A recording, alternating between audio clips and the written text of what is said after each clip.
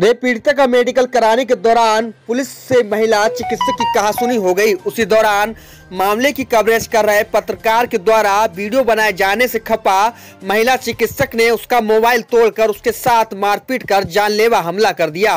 मामले में पुलिस को तहरीर दी गई है। आपको बताते चले, दरअसल बीते दिन थाना मऊ दरवाज़ा में एक नाबालिग से दुष्कर्म करने के मामले में मुकदमा दर्ज किया गया था। पुलिस रेप पीड़िता का मेडिकल कराने के लिए लोहिया मेडिकल अस्पताल में पहुँची। मिली जानकारी के मुताबिक ड्यूटी पर तैनात महिला चिकित्सक आसमा बेगम ने मेडिकल करने से मना कर दिया। इसकी जानकारी जब पीड़िता का पिता ने आकर सीओ सिटी प्रदीप सिंह व शहर को शहर कोतवाल विनोद कुमार शुक्ला को दी, जिस पर सीओ सिटी मौके पर पहुँचे और महिला चिकित्सक से मेडिकल करने मेडिकल न करने का कारण पूछा तो महिला चिकित्सक ने उनसे भी नोकझोंक करने का प्रयास किया। उसी दौरान वहाँ पर मौजूद पत्रकार वीडियो बनाने लगा, जिस पर महिला चिकित्सक ने युवक का मोबाइल तोड़ दिया और उसके साथ हाथापाई भी कर दी, जिससे पीड़ित पत्रकार के गंभीर चोटें आई हैं, जिसमें विवाद बढ़ गया। अचानक हुई इस घटना से मौके पर मौजूद सीओ सिटीबा शहर कोतवाल समेत पुलिस कर्मी भी भौचक्के रह गए। भारी पुलिस बल मौके पर आ गया। पत्रकार ने मोबाइल तोड़ने और उसे जान से मारने के प्रयास के मामले में पुलिस को तहरीर दी है।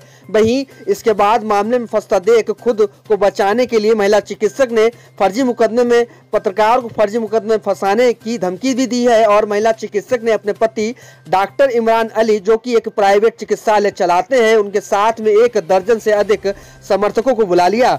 पुलिस पूरे मामले की छानबीन कर रही है। सीएमओ डॉक्टर अमरीन कुमार, महिला महिला अस्पताल के सीएमएस डॉक्टर कैलाश आदि भी मौके पर आ गए हैं। आइए क्या कुछ कहना है? पत्रकार साथी का सुनते हैं।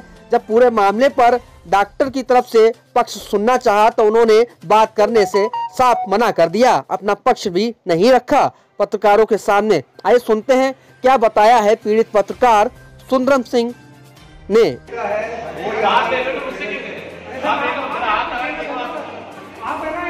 डॉक्टर साहब सुपर नहीं डॉक्टर साहब सुपरविजन आप हैं ये तो है।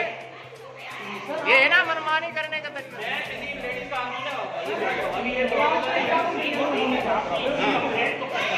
आप लोग करेंगे आप मैं नहीं करूँगा।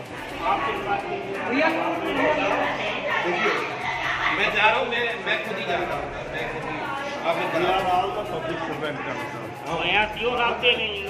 और पीछे से एक ज़्यादा फ़ोटो लेना चाहिए और ये बत- बता कि जो पूरी घटना वो मेरे फ़ोन में कैद हो गई इसीलिए उन्होंने फ़ोन छीन के उसके टुकड़े टुकड़े कर दिए। जैसा भी किया उन्हें पता लेकिन हमारे सामने पटक रही थी वो। अब फ़ोन भी उनके कब्जे में है और उस फ़ोन से अभी पता नहीं कुछ भी हो सकता है वो जिम्मेदार वही होंगे। फ़ोन भी नहीं कितने बजे के आसपास की घटना? लगभग हमारे हिसाब से घटना लगभग आठ बज के चालीस मिनट या पैंतालीस मिनट घटित हुई होगी एग्जैक्ट टाइम नहीं याद है।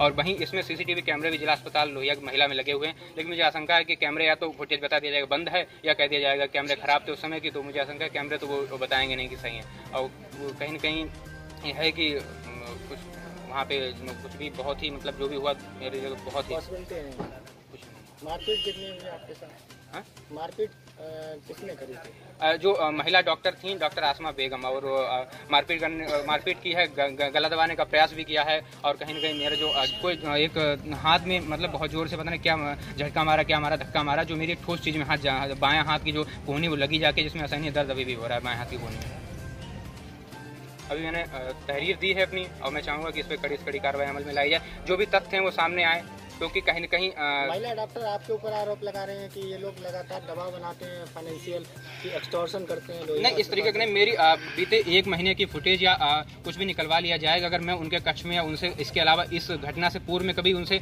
आमने सामने मेरी बात हुई हो या वो मुझे आ, आ, सिर्फ़ बता सकें कि मैं उनसे कभी मिला हूँ ये भी बता सकें तो मालूम कि इस तरीके का कोई नहीं है क्योंकि महिला अस्पताल में बताना चाहूँगा कि लगभग उस कक्ष में एक महीने बाद में कहीं पहुँचाऊँगा एक महीने पूर्व कोई घटना तब पहुँचा था। क्योंकि महिला जिला अस्पताल लोहिया की इमरजेंसी में या ओपीडी में या जिसमें जाना जाना हमारा नहीं रहता है। क्योंकि अब मैं इसलिए अकस्मात पहुँचा क्योंकि सीओ सर वगैरह भागते पहुँचे मुझे लगा कोई पता नहीं क्या घटना होगी इसलिए। और कहीं ना कहीं जो आरोप लगाए गए निराधार हैं और इनका कोई जमीनी स्तर पर ग्राउंड नहीं है। वो आपके ऊपर एक्सटॉर्शन का आरोप लगा रही है डॉक्टर एक्सटॉर्सन का आरोप लगा रही हैं तो मुझे नहीं पता किस तरीके का उनका एक्सटॉर्सन दो तीन साथियों पे भी लगा रहे हैं। मुझे जानकारी नहीं किस तरीके का एक्सटॉर्शन का वो आरोप लगा रही हैं, किस तरीके से, क्योंकि इसमें महिला जिला अस्पताल में जितने मामले आते हैं तो वो ज़्यादातर महिलाओं संबंधित होते हैं तो इतना कोई विशेष नहीं रहता है कि हम लोग वहाँ पे आएँ। अगर अगर मान लीजिए मैं वहाँ पे कुछ ऐसा करता हूँ, जैसे आपने बताया एक्सटॉर्शन करता हूँ तो मेरा आवागमन अधिक होगा उस एक स्पेशल जगह में, या उनसे आवा उसे कहीं कहीं मेरा संपर्क भी होगा। मैं किसी अन्य नंबरों से कॉल करता रहूँगा मेरे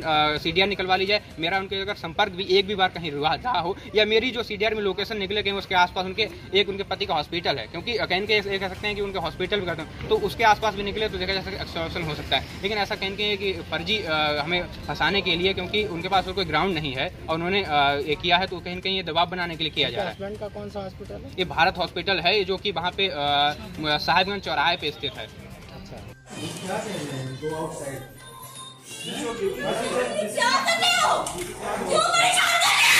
आप लोग जाइए।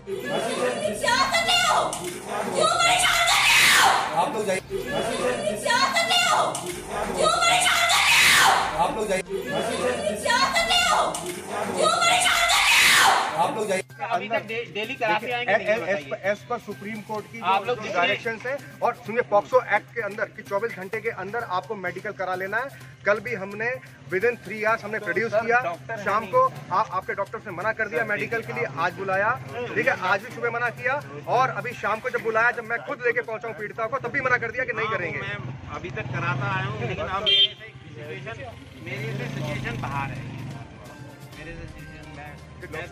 ठीक है कोई बात नहीं मना ये कर देखिए ये देखिए ड्यूटी रोस्टर बना हुआ है आप आज ठीक है, आज आज तारीख चौबीस है, है ना। इसको बच्चे को डॉक्टर ओम प्रकाश ने ड्यूटी है अभी मैं दो से आठ वाली ड्यूटी मैं करके गया हूँ।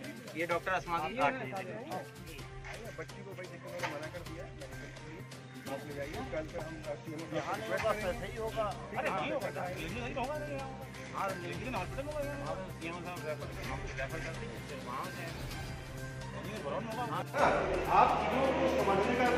ये बताइए कल आप लेके आए थे बेटी को? कल मना कर दिया बताइए। बताइए ये पीड़िता है, होते हैं।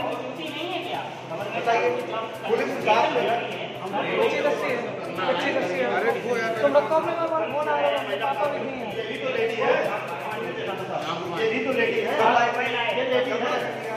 सी इज़ आल्सो